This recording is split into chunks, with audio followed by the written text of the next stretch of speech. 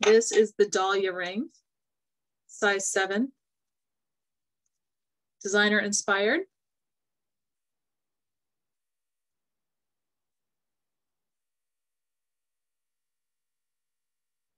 Just wanted you to have a chance to see this